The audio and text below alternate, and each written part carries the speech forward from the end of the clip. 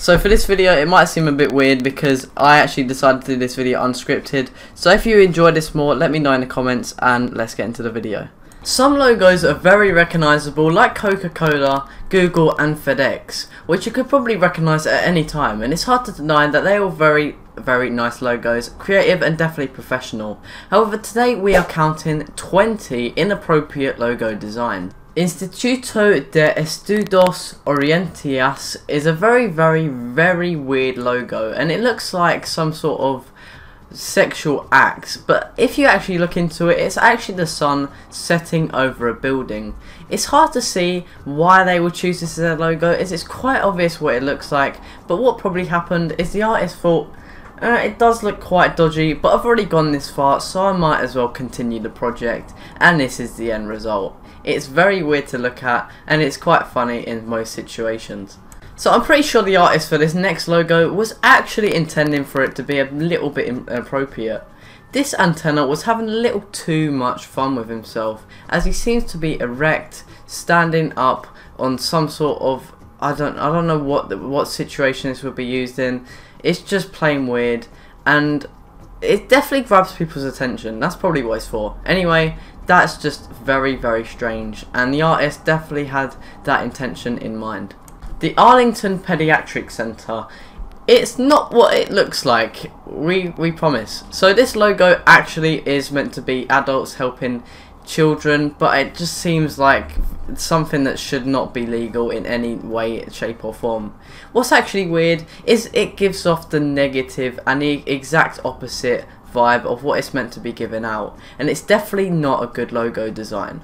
So this next logo is actually very ironic. Safe Place. Now it seems like this white figure is giving the black figure a hug or what that's what it's meant to look like. But it actually just looks like another person kidnapping some sort of kid. Seeing as the white figure is a lot bigger than the black figure as well it looks like someone is being kidnapped and it does not give off a very very nice feeling. Especially as there's no facial expression so you can't see if the person's happy or sad.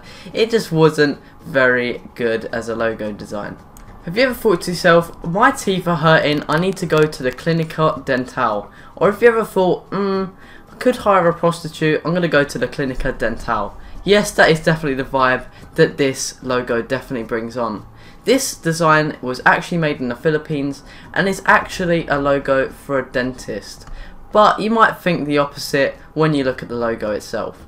So when you first look at this logo, you might think it looks pretty innocent enough. Just a man and a woman dancing as you would in a dance club. But when you really focus at the image and sort of think outside the box, it does look like a woman with her breasts out. It's actually very, very artistic, and it's probably what the artist was going for to catch a lot of people's attention, even though dance clubs can consist of children, which is pretty much just really weird. But anyway, it is a very strange logo design. Maoam, as you probably know, is a sweet that can be bought in most corner shops, in the UK at least. I'm not sure if they are in other countries, but it just this logo itself is very weird.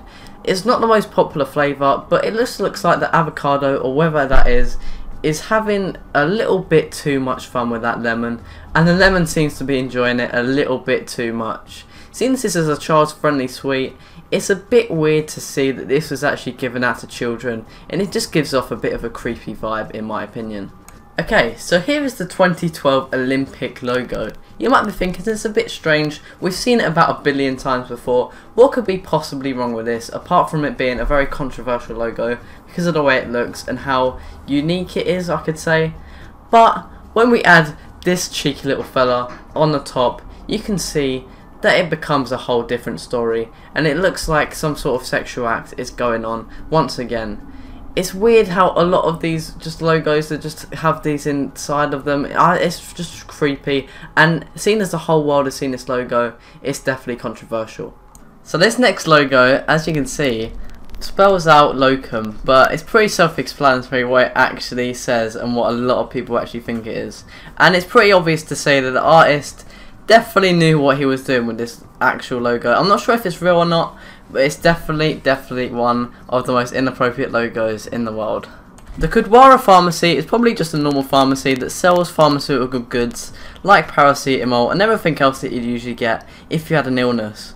But the logo isn't one of the best in the world as it looks like the K is fornicating with itself and probably left a lot of pharmacy goers quite confused. The Lalaya Massage Studio looks like a normal massage studio until you actually have a close look at the logo which looks like a female body part that most people won't be very intrigued by when they are looking for a massage. It's just blatantly obvious what it's meant to be and these artists definitely had a dirty mind when they were designing these logos. The Computer Doctors is probably a place where you probably get your computers, your mouses, everything to do with computing devices repaired, fixed, or you can probably buy some gadgets. However, this logo definitely sends a different message and might have sent a few prostitutes to this area. I'm not even too sure because of the logo. As you can see, the mouse, which replaces the U in computer definitely definitely looks like the male genital area which is not appealing at all and I'm not sure if they've even noticed this themselves because if I did I'd change it on the first day. So this logo is probably some sort of restaurant or something. I'm not sure what the restaurant's actually called but if you look at this very very carefully it looks like two balls and a penis made out of the chef and the hat. And I picked this one because I don't think it's been covered too much but it's just really really really really weird and I think they definitely knew what they were doing when they were designing this logo. So the Pontins logo is actually one that you might not have noticed before and it's actually like a amusement park sort of area for England. It's not amazing and it's quite run down but if you look at it in detail the T on the end does have this little shape. I'm not sure why but it looks like a paedophile made it because there is some sort of discharge coming out of the end of the T and I'm not sure what that is. It definitely looks like a penis. What do you think? The Islamic Understanding Institute is definitely, definitely a weird logo. As you could probably tell, straight from looking at this logo, it does look like a huge pair of tits. But if you actually look past it, it's meant to be two buildings, and you could also say that the building on the left also looks like a penis. But tell me again what you think in the comments, and tell me also what the weirdest logo on this list is. A style is I don't know what A style is, but the logo is definitely definitely weird and should not be appropriate for any situation. As you can see, it is A, it is just a letter A, but the two heads at the left make it look like two people having sex and it is very very strange. Why would someone come up with this logo? Is it real? There's just too many questions too many unanswered questions. We should probably go there and protest against this logo. Well I would but I'm, I'm just too lazy to be honest. So this next one is for Doughboys and the D and the B combination makes it once again look like a penis and balls. But what can you do? I mean, it's very plain, it's very immature, and I wouldn't put this if I was making a company and if I was making a restaurant. I wouldn't make this my logo, especially with the discharge at the top. What is that? Seriously, what? Why? Why is that? Why is that on top of there? What is that meant to be? Just no. So the next logo is called the Academy of Dance Arts and this would look innocent at first. It looks like the girl is just gliding through the air, her leg raised in the air like a normal dance routine. But her left hand, I think, looks more like a penis and she looks like a transvestite from this angle. Don't judge me for saying that, but you all had it coming. And it also sort of looks like she could be faced the other way around and it's a karate competition and he's also just Alright, there's too many things you could say about this. Dirty Bird, by the name, you could probably tell the owners of this restaurant have a very weird sense of humour, as their logo does look like an erect penis. But is it? Is it? Yeah, that is definitely what it's meant to be. Yes, because no chicken, let's be honest, looks like that, and the name of Dirty Bird just shows that this restaurant is a bit weird.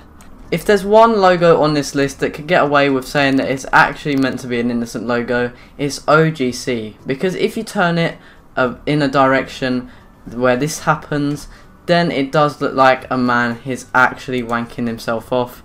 But they could probably get away with this because it's actually quite hard to spot unless you know what you're looking for. And when they noticed it, I bet they had a bit of a chuckle to themselves, as did I. Thanks for watching this list. If you did enjoy it, you can like and subscribe for more videos in the future. Thanks for watching, and I'll see you guys in the next video. Comment down below what I should do next, and I'll see you all next time. Goodbye.